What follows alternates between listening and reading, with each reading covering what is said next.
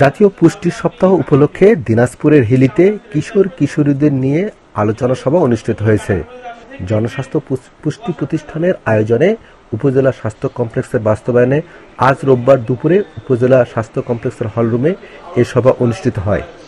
এতে বক্তারা কিশোর কিশোরীদের সঠিকভাবে বেড়ে উঠতে, পুষ্টির প্রয়োজনীয়তা সম্পর্কে বক্তব্য রাখেন ও পুষ্টি সমৃদ্ধ খাবার গ্রহণে পরামর্শ প্রদান করেন। উপজেলা স্বাস্থ্য কর্মকর্তা ডাক্তার শ্যামল কুমার দাসের সভাপতিত্বে এতে উপস্থিত ছিলেন উপজেলা পরিষদের vice chairman Shahinur Reza Shahin, academic কর্মকর্তা সাফাত হোসেন সহ অনেকেই। A S M Alamgir, Hili, Dinajpur.